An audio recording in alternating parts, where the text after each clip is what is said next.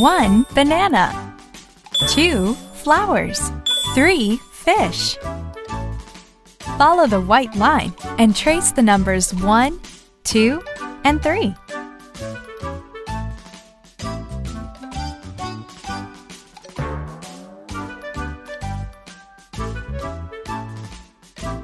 Match the numbers.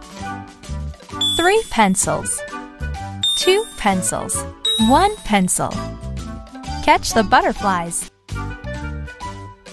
How many butterflies did Teddy catch? 3.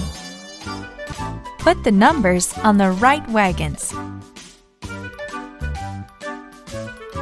1 2 3 4 5 6 Pop the bubbles that have four stars in them.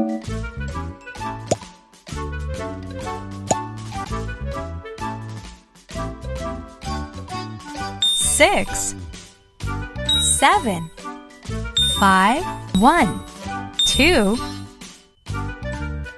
The flowers have a different number of petals. Match the numbers with the flowers. Nine.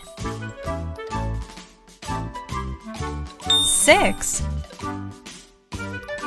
eight, seven.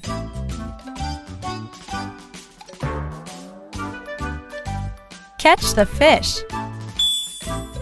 Great! Good job!